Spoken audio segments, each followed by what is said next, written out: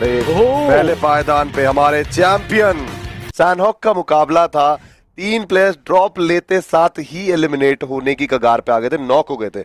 नकुल पंद्रह बुलेट थी I think उनके पास। तो उस टाइम पे जो ऐसी सिचुएशन होती है क्या कॉलिंग रहती है उस टाइम पे टीम में?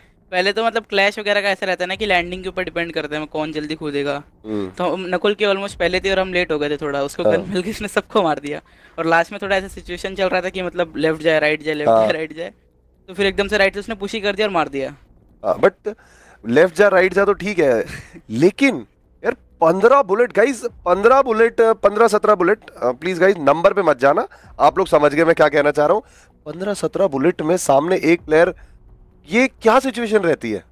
उसका तो पता ही है उस पर तीन चार बुलेट भी हो तब भी मार देगा वो बंदा वैसे कोई दिक्कत तो नहीं है। ये कॉन्फिडेंस है?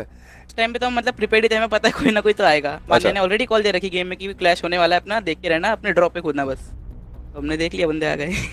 मतलब क्या ये कहना गलत नहीं होगा कि मान्या बाकी टीम्स के आईजीएल्स के मामले में और गेम में हर किसी से एक कदम आगे रहना पसंद करते हैं? हाँ ये तो है। ये है। तो उस टाइम जैसे ड्रॉप क्लैश हो गया तो मान्या का उस टाइम पे क्या था कि अभी थोड़ा सेफ़ खेलते हैं और फिर बाद में फाइट लेंगे? अरे लाइक ऐसा होता ना कि ड्रॉप क्लैश अगर लेंगे तो सीधा मुँह पे आके लो फाइट मतलब हाँ। मतलब नहीं फिर ऐसे पीछे कैम करने का। हम्म। देन वो पीछे बैठे रह गए तो हम कोई सेंस नहीं बनता ऐसे जाके नॉक फिनिश हो जाना तो हमने फॉल ले लिया।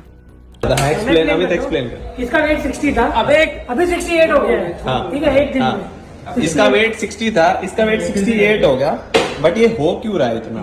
वो देखो। क्या कर रहा है?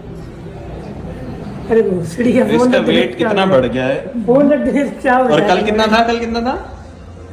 अरे माँ कसम खा के अरे कल कितना था ये बता। कल कितना था ये बता। माँ कसम कल 62 था।